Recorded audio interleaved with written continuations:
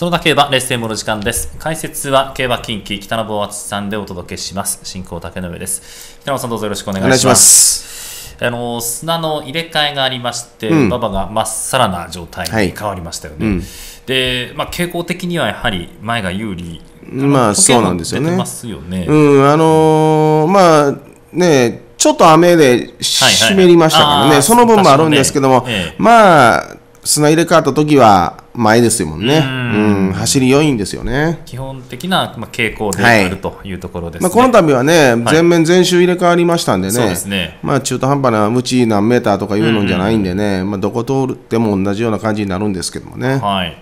えーそういった傾向、まあ、あのしっかりと掴んでいきたいところ、あのよくね、北野さんもコラムで書かれてましたが、うん。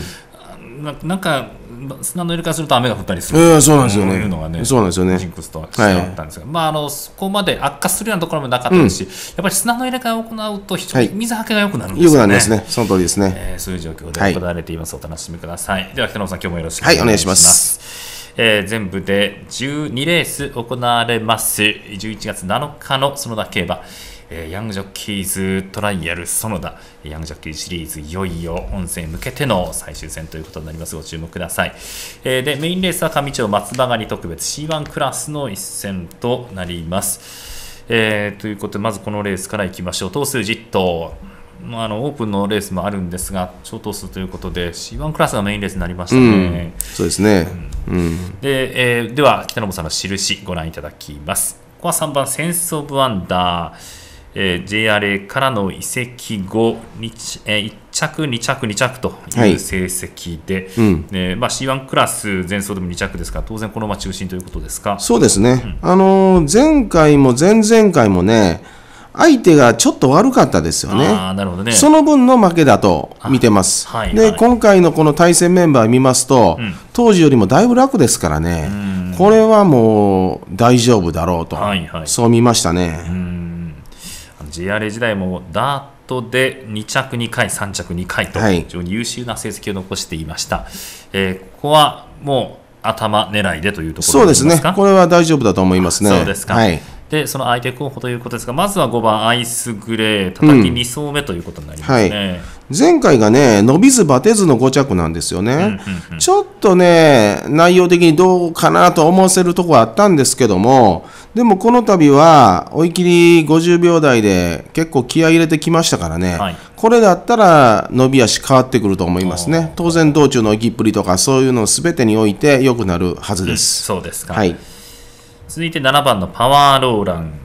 これもこのところ3着、2着という成績、はい。前でいいレースをしてますようん。ね。これも前回はもう勝った馬が楽勝でしたからね、強すよね。強すぎましたからね、はい。この馬なりには十分走ってるんですよね。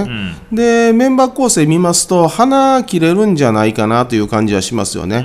2番手、3番手でも競馬はしますけども、やっぱり花切った方が、1枚も2枚も粘りはアップしますんでね、うん。いい流れになるんじゃないかなという感じはしますね。はい、6番ソリティアリングがその後のヒットですね。前回の崩れはね、あんあの先行ペースにちょっとついていきすぎた、入り込んでしまった、そんな感じがありましたよね。はいだから度外視していいんじゃないのかなと思ってます。うんまあ、2走前だけ走りは十分やれるとこですからね、まあ、頭数的にも手頃ですし、巻き返しあると、みたいですね。そうですか。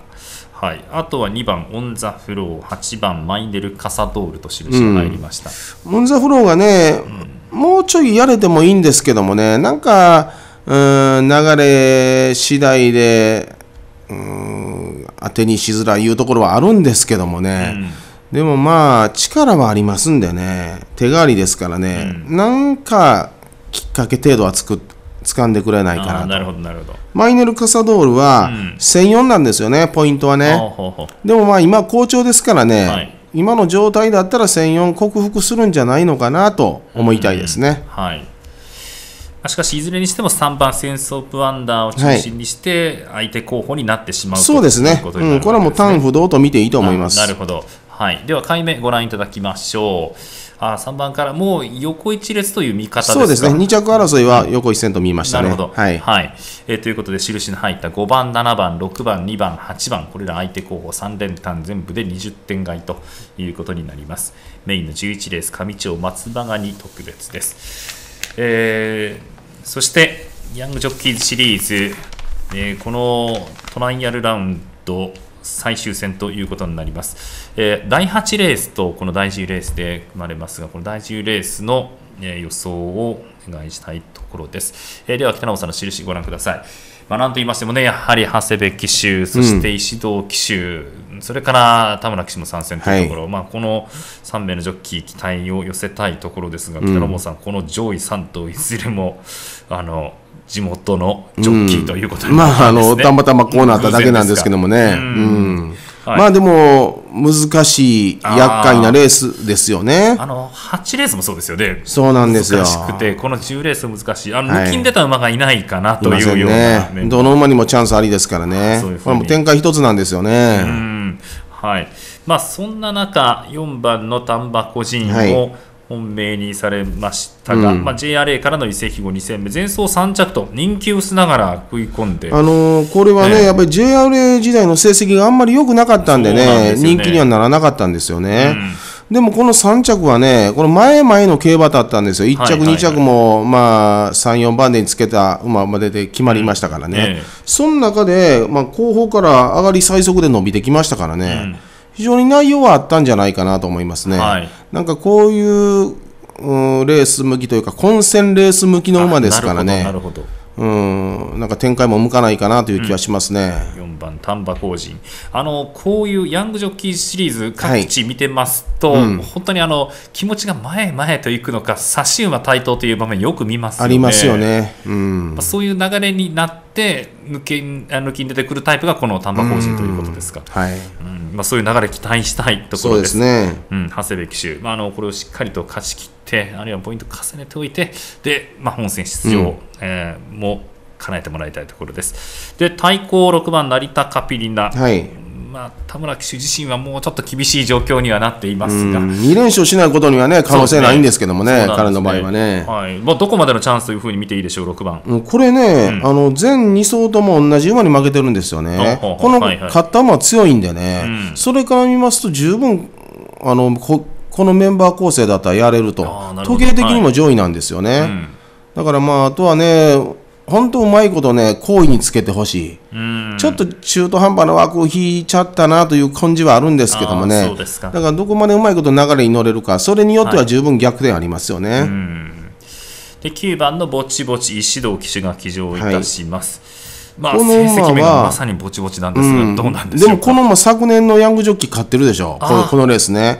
それから春にもね、ええこの若手騎手限定戦で前線してるんですよあね。なるほど。こういう類のレース、この馬走るんですよ。ほうほうほうほう。それもありまして、なんか怖いな、単穴表がですね。なるほど、はい、勝ってもおかしくない、はい。というところですね、えーそれから12番、ツインフルムーン、うん、これは逃げに出るようだったらうるさいですよ。う2です走前、気分よく逃げてはい。楽勝でしたからね、ね。まあ前回もまれてだめだったんですけども、それを考えるといい枠当たりましたよね。うんはい、あと5番、キュアホリデー、11番、クレマン、こういったところどうですか、なかなか勝ちきれないんですけども、あのキュアホリデーはね、でも渋い走りはします。ん。それとクレマンは前回、格上挑戦でも4着なんですよね。はい。あれだけ走ったら、ここだったらやれるんじゃないのかなという感じはしますよね。はい、では、回目ご覧いただきましょう。あ4番、馬服、あそうですか、もう、まあ、連の軸という見うん、方ですよね。これは難しいですからね、うんやっぱり中心見つけたら、そこから手広くいく方がいいと思いますねなるほ。ど、まあ、連の軸、まあ、頭固定はなかなかしづらいメンバー構成じゃないかなというところですね。えーということで、ヤングジョッキーズトライアル園田10レースの予想展望でした。まあ、8レース、10レース、この2つのレースで、えー決まります。まあ、なんとか兵庫勢、昨年が全く構想できなかったですからね、うんね本戦、はいあの出場できませんでしたので、なんとか頑張ってもらいたいところです。えー今日は競馬近畿北野坊敦さんの解説でした。北野坊さん、どうもありがとうございました。はい、ありがとうございました。そのだけはこの後ご覧の日程で行われます。どうぞこの後もそのだけはお楽しみください。